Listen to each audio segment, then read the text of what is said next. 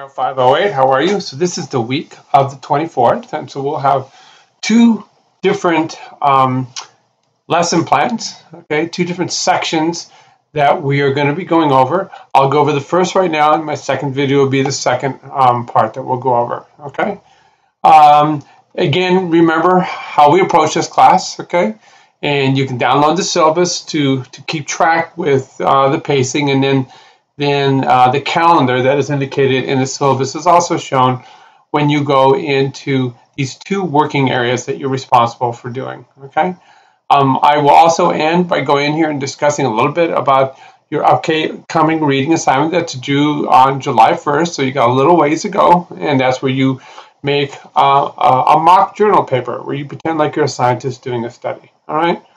Okay, so we um, start right here, okay, every, every, single week. You click on that, okay, and I think you guys know the drill because I've seen a lot of you guys are in there um, doing the quizzes, okay, which shows me you know what's going on.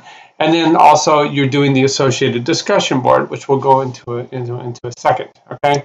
So I sent out an email um, last night, okay, where I just tried, tried to break down with both um, a little bit of reading, um, kind of everyday uh, verbiage of uh, how to understand um, the physiological action, action of the stress response.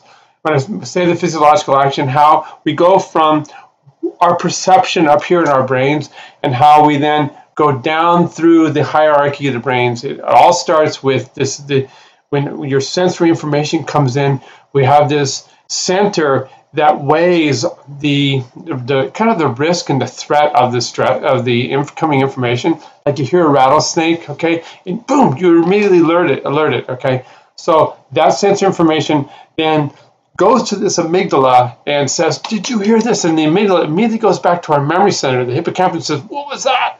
And once everybody's in agreement, boom, it sets into action this major stress response by going from the amygdala to the hypothalamus. The hypothalamus then connects with um, uh, the gland down here, the pituitary gland, that's the slow response, but it also has direct wiring. The hypothalamus goes right down our spinal cord, out to all the body parts, like my eyes, so they get wide open. Suddenly I can hear everything. My heart starts racing.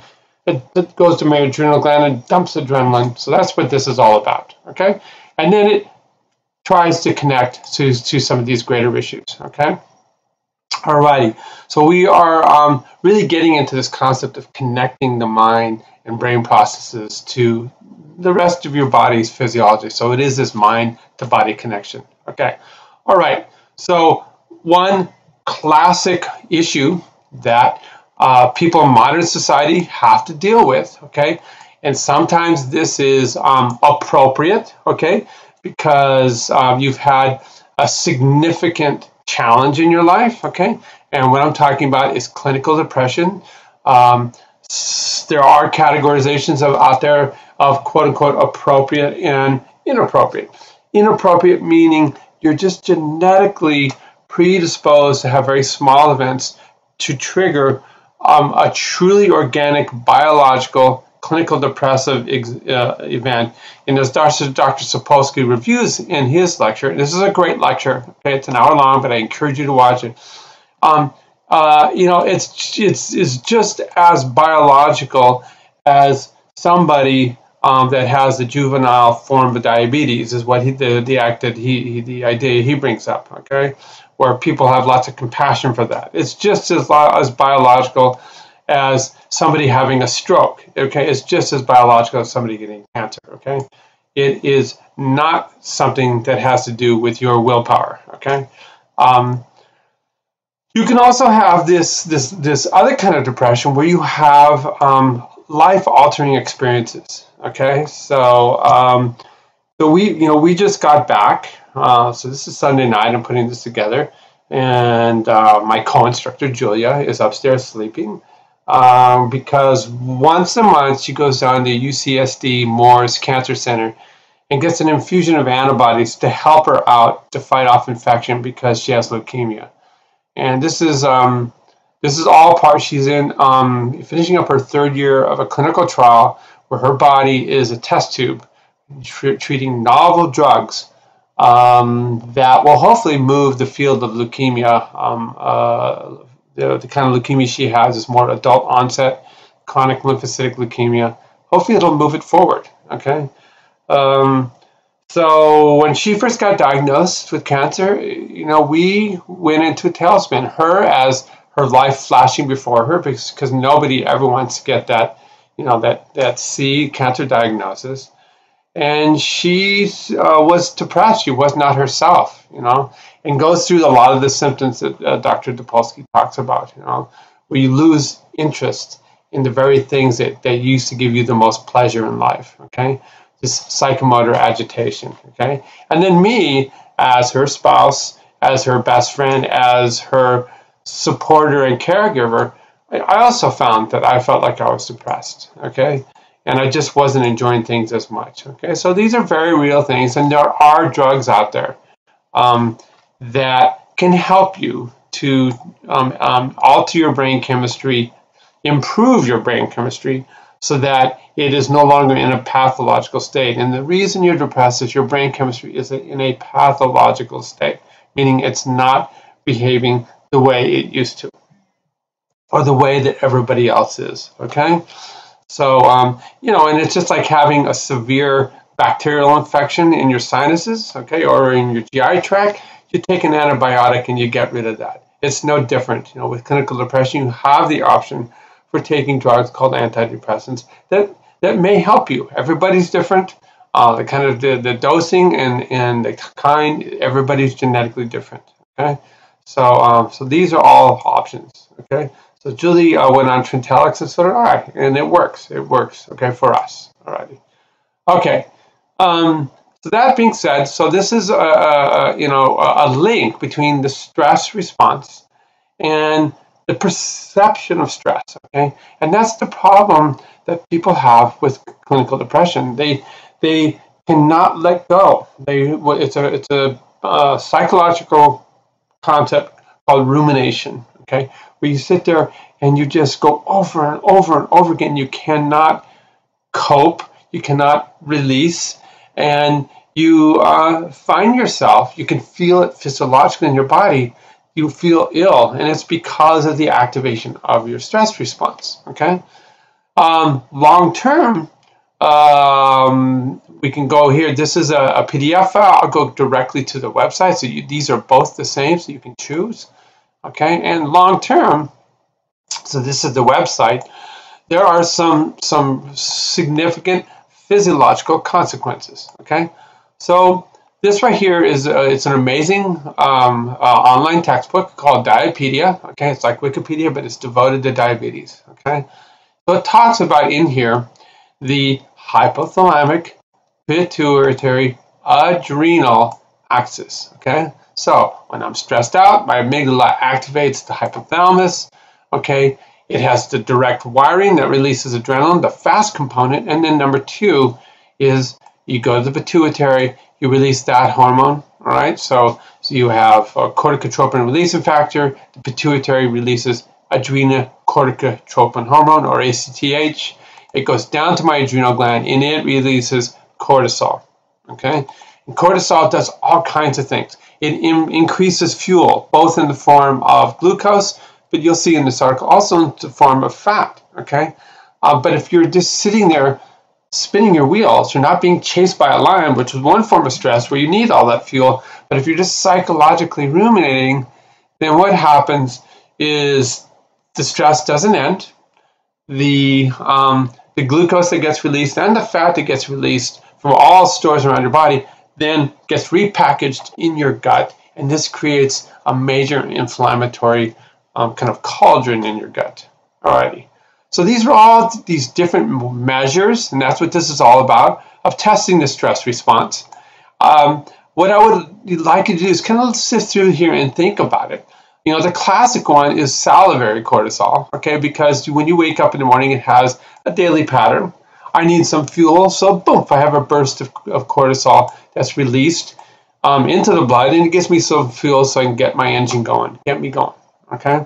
You can use these measures, okay, as um, your experimental design, your methods in your um, uh, paper, your six-page paper that you're going to create. So you're going to do a manipulation. You're going to measure stress, and these are the kind of methods that you might use.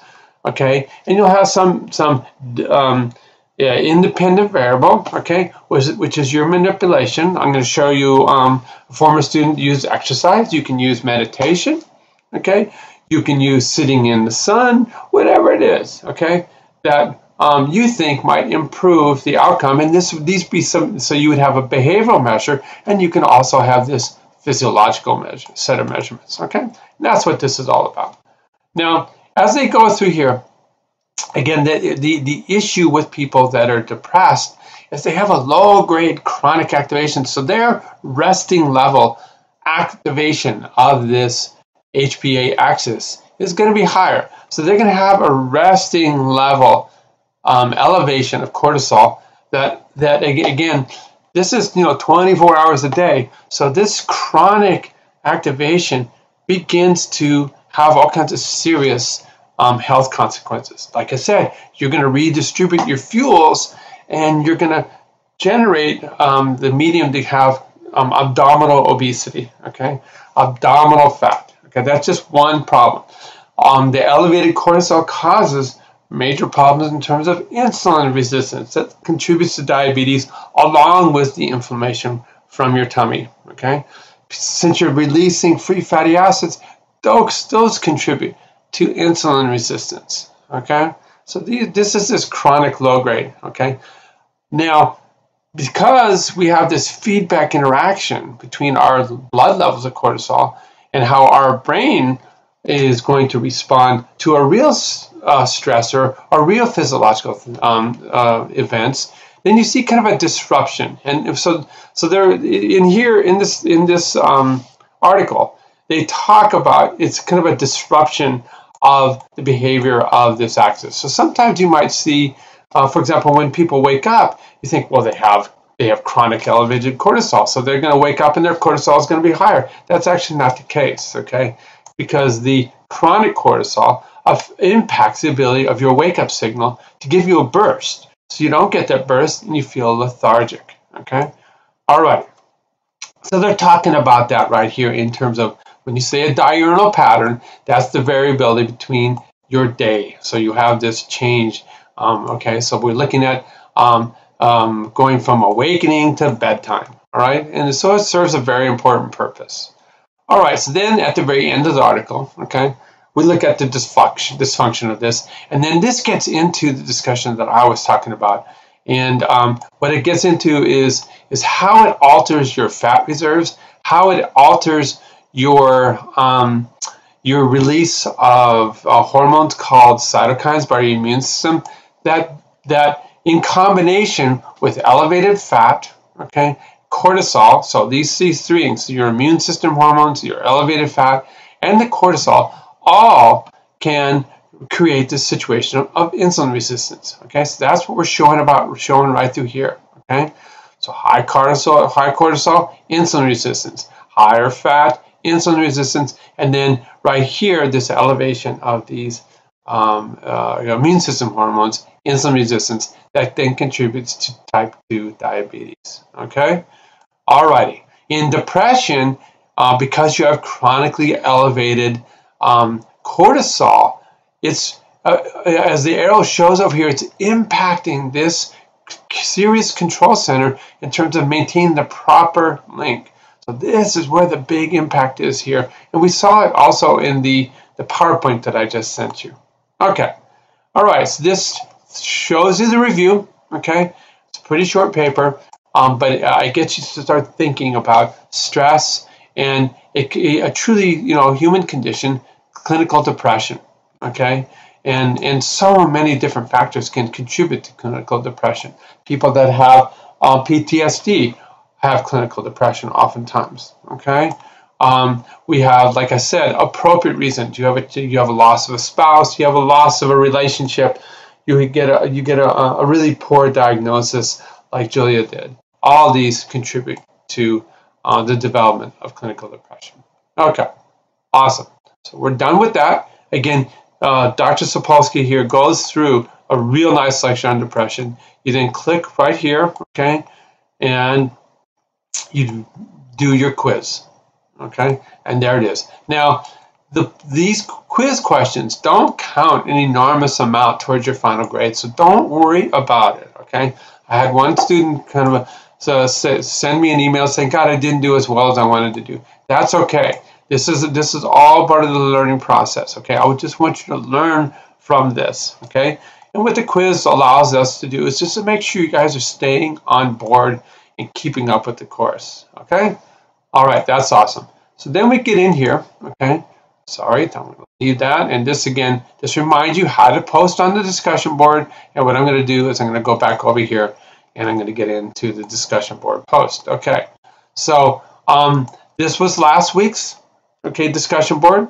Um, the reason I'm showing this right now is this concept of epigenetics. All right, so if you have chronically elevated stress hormones and and you find the um, the uh, hypothalamic pituitary, axis is not working right, that is going to change the way you read the genes in your DNA. Okay, flipping these switches. Okay, we've heard about methylation in when we were looking at the last one. Okay, and that's going to cause problems. It's going to cause um, problems in terms of the genes that are turned on that maybe predispose you to even further clinical depression, that maybe further predispose you to diabetes, and, um, and really blunt and mess up your response to cortisol. Okay, so I'm going to get out of my preview right now. This, this is all student view.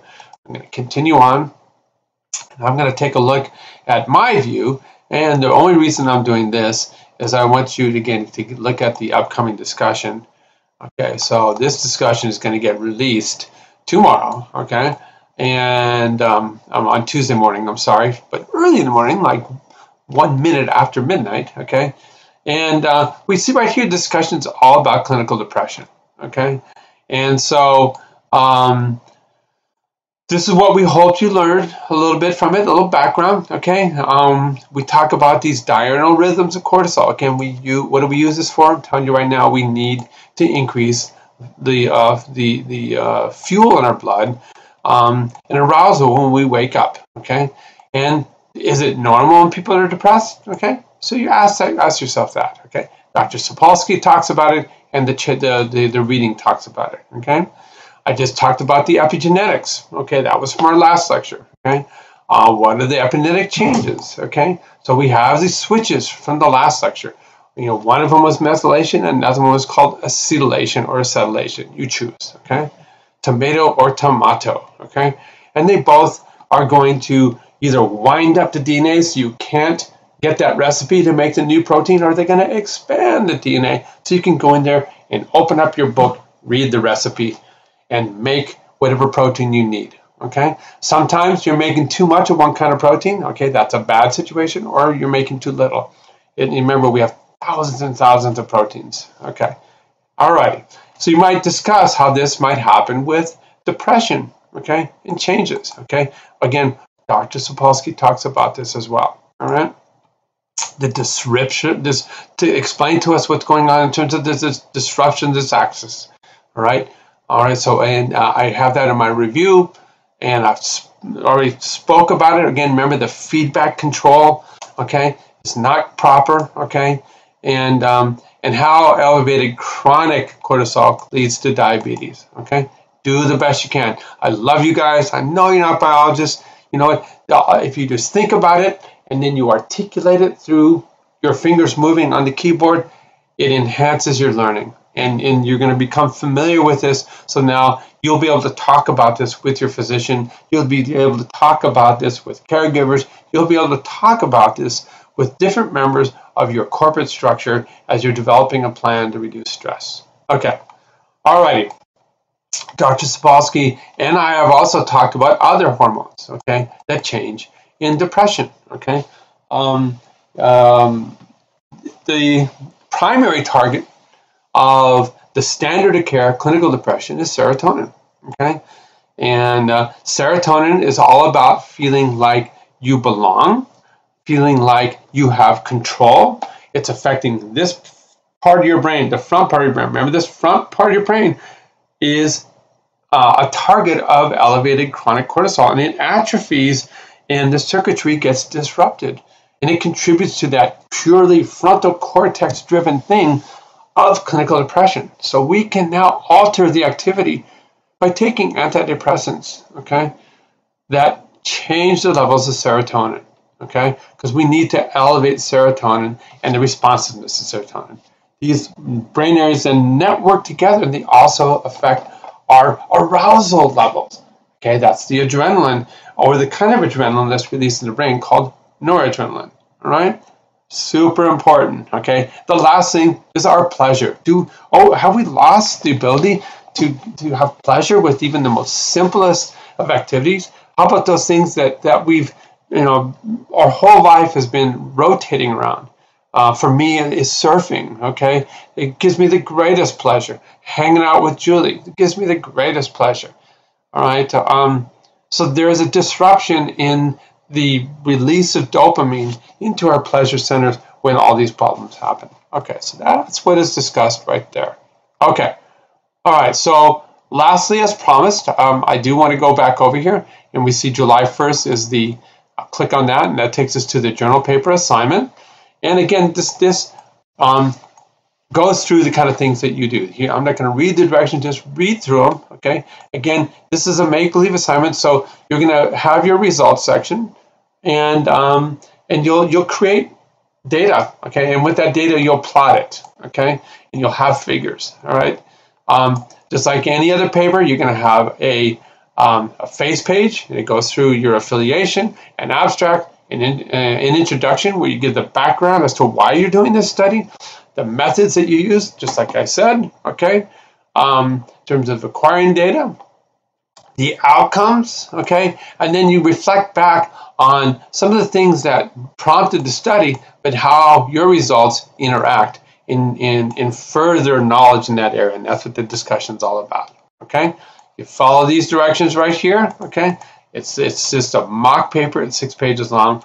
Um, what we did is we actually had an old student of ours um, send us and we created a, a PDF file and I'm going to click on that. All right, so you can see there it is. And what I'm going to do is I'm going to reduce it. All right, sorry. I'm going to say okay. This, no, this, okay, awesome.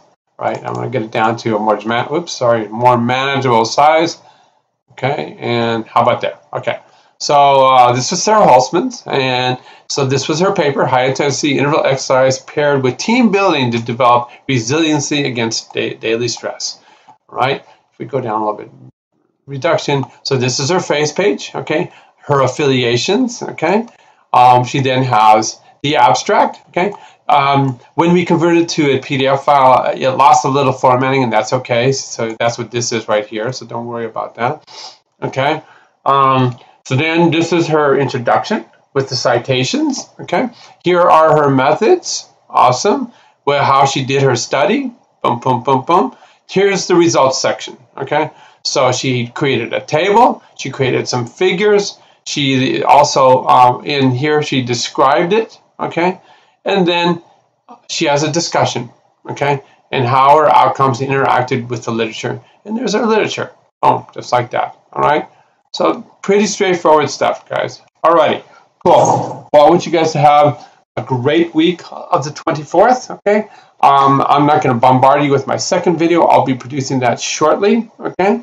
Um, but um, I, I want to put your minds to ease. I know you guys aren't biologists. But it, this is awesome that you're going to be able to think in terms of biology, how the mind controls the physiology of your entire body, and how that impacts health. Consequences, things like um, diabetes, okay, things like heart disease, okay. Um, and um, as we're going to go back over here to the readings, I just want you to see where we're headed now, and you can see this also in the in the syllabus. So we're going to start talking about how elevated cortisol and stress can can um, further depression, okay? Because it's again causing degradation of my front part of my brain and dementia, because this part of my brain with the hippocampus is all about learning and memory, okay?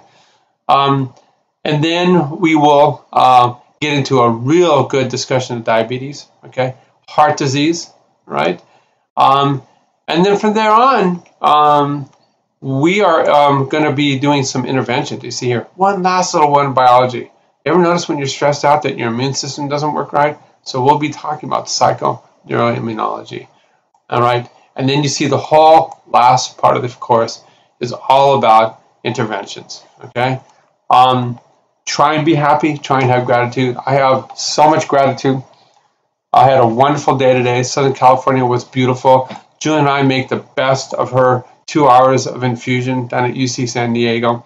We go down there and we and we we we watch videos together and we laugh, and that's what it's all about. Okay, alrighty, guys. You take care and do not worry. You guys are killing it.